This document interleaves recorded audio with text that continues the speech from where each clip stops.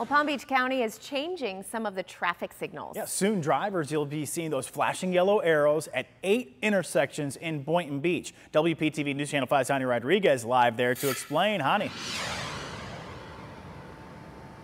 Hey, good morning, Mike and Ashley. We're at Congress and Old Boyne. This is one of those intersections that could see those new that new traffic signal, the flashing yellow arrow. So here's how it works. You would treat it as you would a green light if you're in the left turn lane about to make a left turn.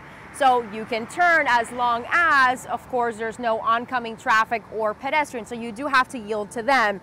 Now, the reason the county wants to install these is so that that way more drivers are able to make a left turn with caution, of course, and also to help alleviate traffic in this area. The traffic signal, though, is not new to Florida, but it will be new to Palm Beach County. The signal will flash yellow when drivers looking to turn should yield to oncoming traffic. Now, there are eight intersections along Congress Avenue between Golf Road and Gateway Boulevard that will be a part of phase one according to county leaders. And again, it's supposed to also help make our roads a little safer for everyone. The flashing yellow arrow, again, won't replace existing signals we're already used to seeing, like the solid green arrow, solid red, and solid yellow. But again, it's just to help with traffic. Now, this will be discussed at a commission meeting tonight in Boynton Beach. We will have all this information and everything you need to know right on our website at WPTV.com.